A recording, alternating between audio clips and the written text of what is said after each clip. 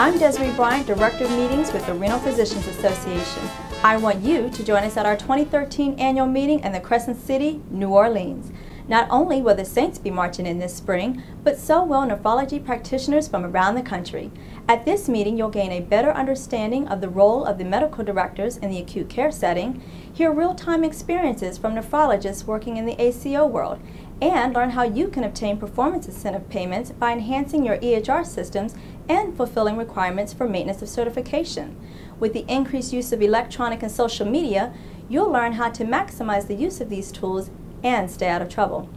The business management track will address topics such as preparing for ICD-10, RAC audits, coordination of care for CKD patients, benefits of a highly engaged workforce, ancillary services for nephrology practices, and how to implement, optimize, and convert your EHR system.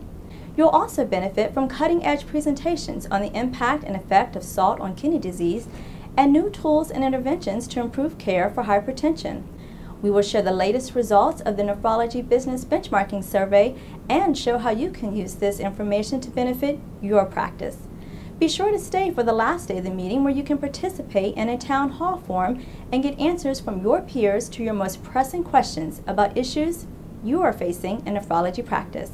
You don't want to miss this unique and exceptional meeting, so be sure to register by January 16th to receive a discount on your registration.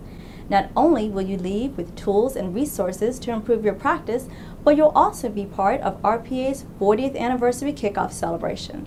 I'll see you in New Orleans.